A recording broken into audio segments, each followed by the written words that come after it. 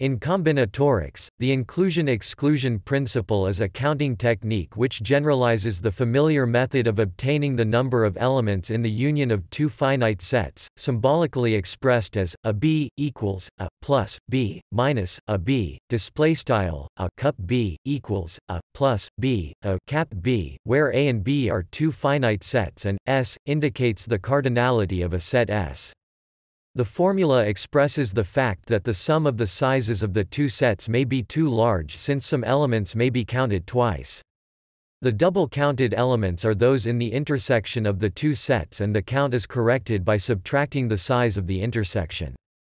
The principle is more clearly seen in the case of three sets, which for the sets A, B and C is given by, a BC, equals, a, plus, B, plus, C, minus, a B, minus, a C, minus, BC, plus, display style, a cup B cup C, equals, a, plus, B, plus, C, a cap B, a cap C, B cap C, plus, a cap B cap C. This formula can be verified by counting how many times each region in the Venn diagram figure is included in the right-hand side of the formula.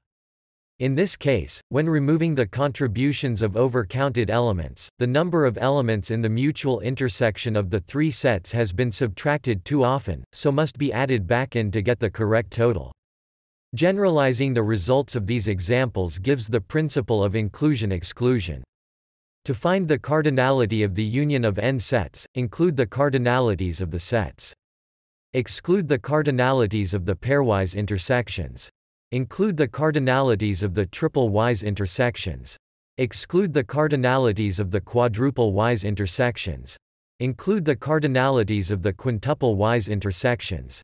Continue, until the cardinality of the n-tuple-wise intersection is included or excluded. The name comes from the idea that the principle is based on over-generous inclusion, followed by compensating exclusion.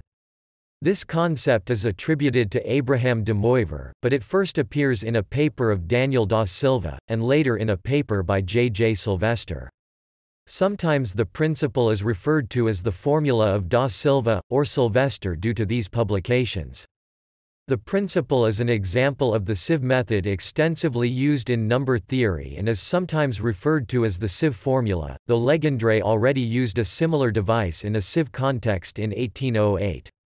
As finite probabilities are computed as counts relative to the cardinality of the probability space, the formulas for the principle of inclusion-exclusion remain valid when the cardinalities of the sets are replaced by finite probabilities. More generally, both versions of the principle can be put under the common umbrella of measure theory. In a very abstract setting, the principle of inclusion-exclusion can be expressed as the calculation of the inverse of a certain matrix. This inverse has a special structure, making the principle an extremely valuable technique in combinatorics and related areas of mathematics.